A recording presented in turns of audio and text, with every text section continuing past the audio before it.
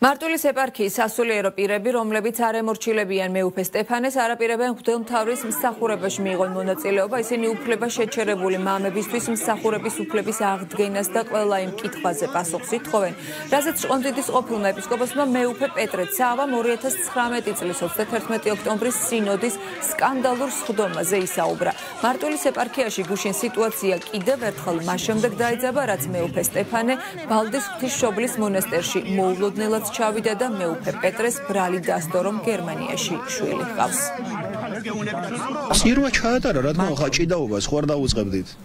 მოსული იყო აგერ არის ტაძარი და ჩაატარონ წირვა.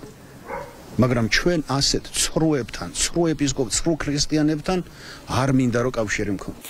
ჭონდეთის ყოფილი მიტროპოლიტი მეუფე პეტრე მის მიმართ გაჟღერებულ ბრალდებას ჭორს და ცილის წამებას უწოდებს. იგი მეუფე სტეფანეს დასჯას მოითხოვს მისი განმარტებით მაღალი სასულიერო იერარქიის პირმა თავისი საქციელით საეკლესიო ჯულის კანონი დაარღვია. მეუფე პეტრე მოუწოდებს საპატრიარქოს აღიძრას საქმე და დაუყოვნებლივ დაიწყოს მოკვლევა ჭონდეთის ეპარქიაში განვითარებულ მოვლენებზე კი სრულ პასუხისმგებლობას პატრიარქს აკისრებს მისი განმარტებით ამ ვითარებიდან გამოსავალი საერთო კრების მოწვევაა.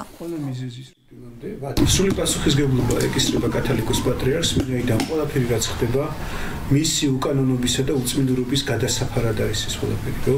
უკვე მაღალი იერარქები ორღობის ჭორიკნებად იქცნენ. ეს საეკლესიო კანონები მკაცრად ჯის ცილისმწამებელს. მაღალი იერარქისაგან ეს ჭორი და ცილისწამება გავრცელებული აუცილებლად და კანონიკური სამართლის მიხედვით იქნეს განსჯილი. სასჯილი დაედოს ჯულის კანონის თანახმად ამ ძიმი ბრალდებისა გამო. ეპისკოპოსი სტეფანეს ადგილი არ არის წმინდა სინოდში, მისი ადგილი არის ორღობეში, როგორც ჭორიკანა მამაკაცისა.